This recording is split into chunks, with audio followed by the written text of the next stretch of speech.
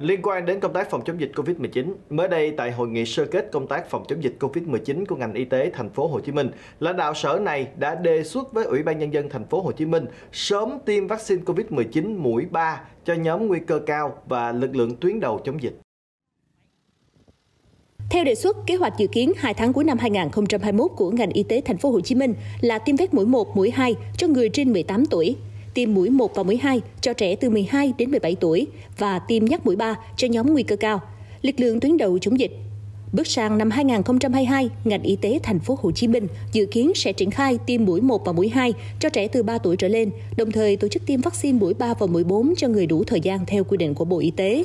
Tiến sĩ bác sĩ Nguyễn Văn Vĩnh Châu nhấn mạnh, vaccine là chiến lược lâu dài và hàng đầu, phải đảm bảo độ bao phủ đến toàn người dân, ưu tiên tiêm vaccine cho đối tượng có nguy cơ cao như thai phụ, người trên 50 tuổi, người có bệnh nền, béo phì và lực lượng chống dịch.